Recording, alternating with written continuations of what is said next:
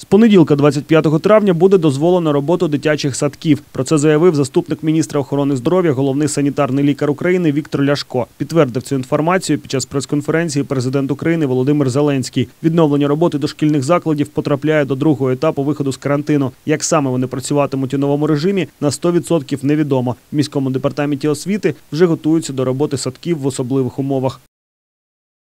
Предложение у нас все-таки э, открыть дежурные группы. Мы не будем открывать э, все дошкольные учреждения.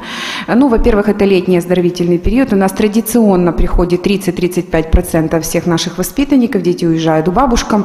И думаю, что этот год не будет исключением. И э, тут у нас будет совместная работа. Мы уже обсудили с Еленой Александровной. Детей мы будем принимать только со справками от семейных врачей о благополучном эпидокружении, потому что боимся внести инфекцию и в детские коллективы тоже. Ну и, конечно, совместная работа будет с Господребслужбой. Это анализ э, территорий, площадок и так далее. Но то, что мы традиционно делаем к летнему оздоровлению. Так что мы готовимся, а режим будет особенный, сокращенный с дежурными группами.